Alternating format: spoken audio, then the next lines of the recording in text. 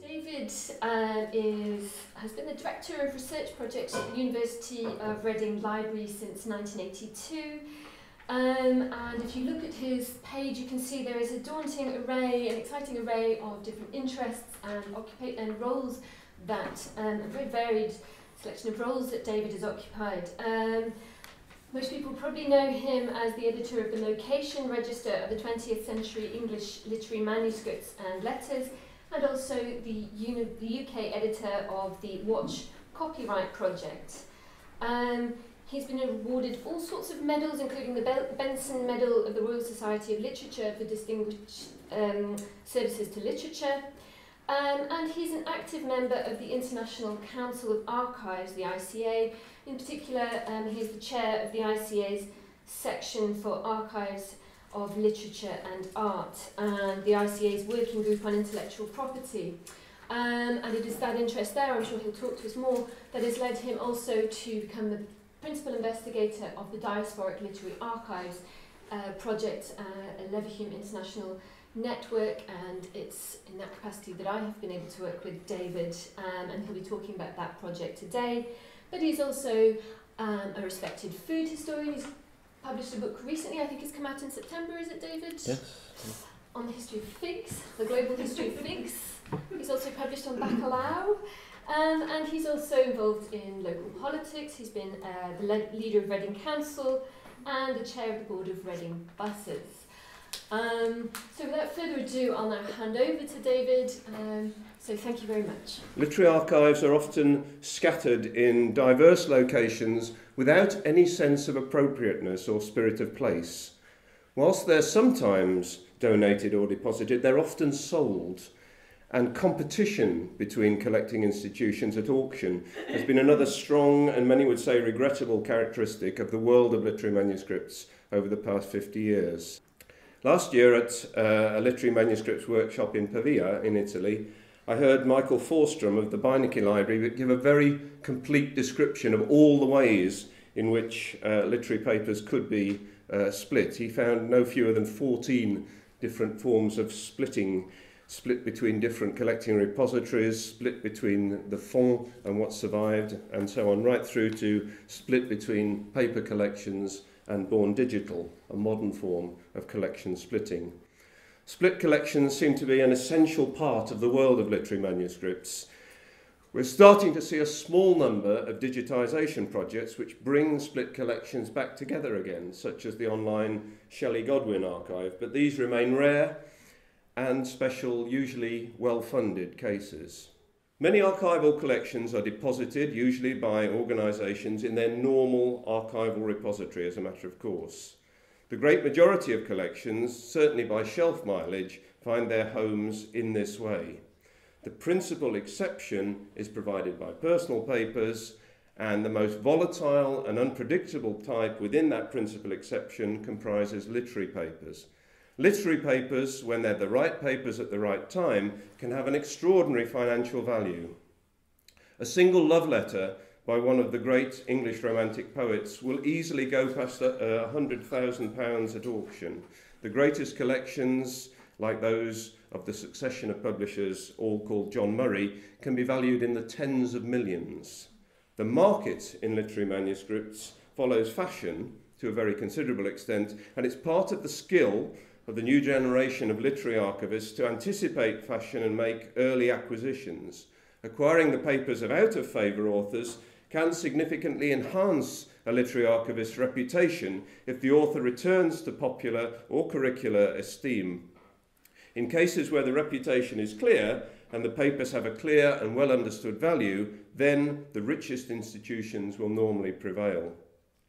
In very few countries, however, is the market permitted to follow its own financial course. Most European countries have some form of state involvement in heritage sales, whether through export licenses, requirements to give first refusal within the country, or various forms of incentives.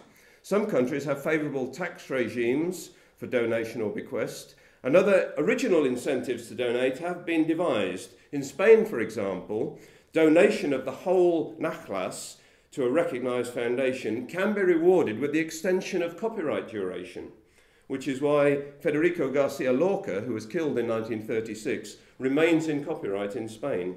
In funding the Diasporic Literary Archives Network for three years, the Leverhulme Trust has wonderfully given us a primary remit, which is to network, to talk to each other, to compare experiences, and to share best practice. This has been one example among many of the growing pr propensity of literary archivists to work together and to synergize their activities.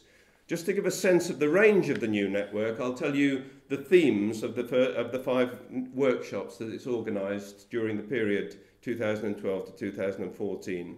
So the first workshop, held in this very room, was called Questions Informing Scattered Legacies, an introduction to the idea of diasporic literary manuscripts. The second workshop in Pavia in uh, March 2013 examined the whole issue of split collections, which I preferred to for you. The third workshop held in Caen talked about the stakes of public-private ownership and included reference to the ways in which literary manuscripts are represented in business, publishing and other non-literary collections, another form of diaspora. The fourth workshop was held in Trinidad earlier this year and was entitled The Politics of Location. It was a workshop on the sensitive issues of acquisition, including the loss by less wealthy countries of their literary heritage. And the fifth workshop was entitled Diaspora and Possibilities for Digitization, held at the Beinecke uh, Library in Yale last month. This was a meeting which covered some of the exciting new initiatives which are opening up in respect of born digital and digitised archives, which I'll talk about later, especially in richer countries, which also explored some of the more sensitive areas for poorer countries, not only as regards technological problems, but also issues relating to equalities, human rights, and the politics of purchasing power. One aspect of the diaspora which has become clear during the work of the network, and on which I first wrote after the archive of Jose Saramago found a home in Lisbon, is that there are really only four countries in the world which regularly and systematically collect the papers of non-nationals, namely the USA, the UK, Canada and France. As the network members saw in visits to Pavia and Venice, there's a striking contrast with literary archival activity in Italy, where they've been diligently collecting their own literary papers since Petrarch, nearly 700 years ago, but have no mandate to collect the papers of non-nationals. Although, of course, authors from other countries do find their way into Italian archival collections.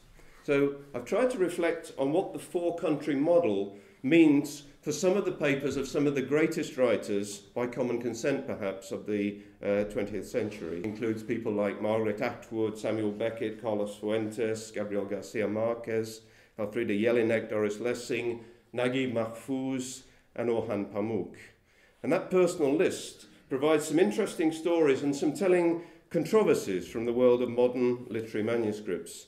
I mentioned already the controversy that was caused in Mexico, front page outrage, by the purchase of the Carlos Fuentes papers by Princeton. Similarly, the proposed Sotheby's uh, sale of Naguib Mahfouz's papers in December 2011 caused controversy in Egypt and the sale was abandoned. We now understand that at least some of the family may want those papers to stay in Cairo, perhaps at the American University. Meanwhile, the archive of Margaret Atwood is arriving in regular instalments at the University of Toronto, and Elfriede Jelinek has a similar arrangement with the University of Vienna. Beckett's papers, as we've seen, are split between Reading, Austin, and Dublin, among other places. Similarly, the papers of Doris Lessing are split between the universities of Texas, Tulsa, and East Anglia.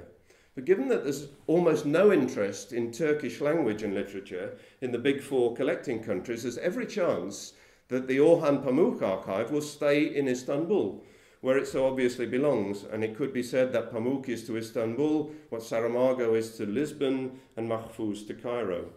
With a self-referential appropriateness, in 2012 Pamuk himself established a museum in Istanbul displaying his own novel, the Museum of Innocence.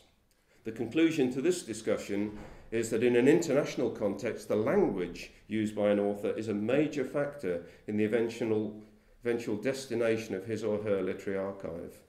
One very positive example of this, which the network has considered in some detail, is the literary manuscripts of Brazil, which uh, present a fine example of a country establishing wonderful collections of its own literary heritage. As we look to the future, and as the Diasporic Literary Archives Network draws towards its close, we expect some of the major themes that the network has discussed to be continued either as academic research projects or indeed as pieces of works of international solidarity. So some of the, the things that we've already worked on in the past three years and which we expect to continue into the future include these. Firstly, work on archives at risk, which uh, involve drawing up new protocols for collaboration on endangered literary collections worldwide, especially in poorer countries. And we hope that people from Reading will be participating in a meeting uh, called early next year under the auspices of UNESCO. Secondly, a project on the dispersal of literary archives through publishing and business archives. Then, protocols for collaboration between institutions which hold split collections. Then again, the idea of mapping split collections, a cartographic approach to literary manuscripts worldwide. Another project could be best practice and digital solutions within the diaspora of digital literary archives. Some more specific things that we've worked on include the literary archives of Namibia, a case study and model where we've tried positively to help uh, archivists in Namibia to work more effectively on collecting the rich literary heritage of that country, and similarly, Caribbean literary archives in Caribbean institutions, a new future there. Another project relates to hidden archives, which are uncatalogued archival troves. We had a fine example from the uh, University of the West Indies in Jamaica, which surprisingly has an uncatalogued Derek Walcott archive, the St. Lucian uh, uh, author and Nobel Prize winner. We intend to create a guidance document for authors who are considering placing their papers in an archival institution as a joint project with the Society of Authors and GLAM. We intend to continue to work on the locations of literary collections, divided literary collections worldwide, providing a sort of international uh, location register, which already exists on the Diasporic Literary Archives website. And we intend to continue to survey the way that literary manuscripts divide up and are spread throughout the world, continuing to spread information um, about the, uh, the diaspora. So this is an exciting and diverse range of ongoing and future projects which will in some form or another, not yet funded, uh, keep the Diasporic Literary Archives network active long, before it's, long beyond its official finish. And I hope that a good number of them will be adopted by other funders uh, or consortia.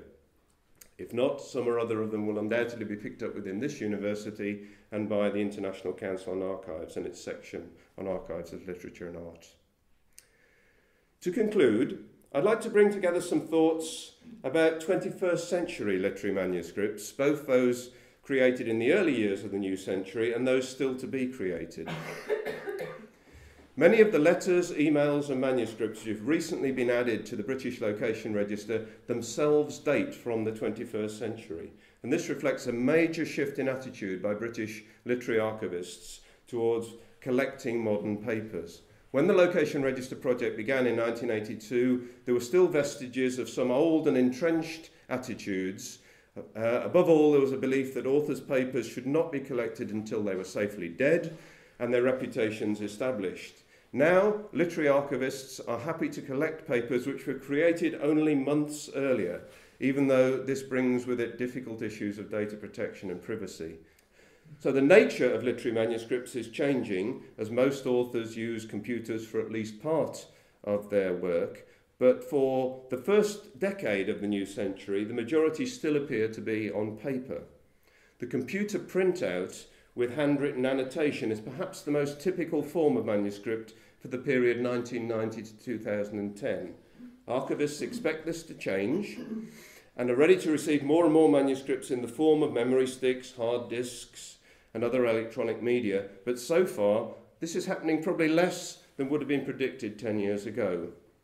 Colleagues confirm that archivists are still unsure about how to come to terms with the prospect of acquiring significant numbers of digital archives, and that some recent acquisitions are in fact partly experimental in purpose. In other words, archivists are acquiring a few digital archives partly in order to test themselves and their readers and their cataloguers.